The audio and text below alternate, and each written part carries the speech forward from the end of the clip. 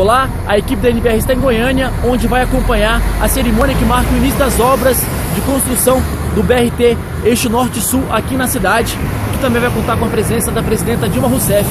Nesse momento você percebe que passam alguns ônibus perto de mim, isso porque eu estou em frente ao terminal rodoviário de Goiânia.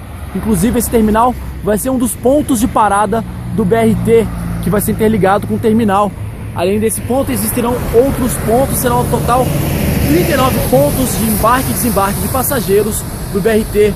O BRT será capaz de transportar por dia, depois que estiver pronto, 120 mil passageiros. O investimento total nessa obra é de 340 milhões de reais. Desse total, 210 milhões de reais são do Programa de Aceleração do Crescimento, o PAC 2. Todas as informações sobre esse assunto você acompanha aqui nas redes sociais da NBR.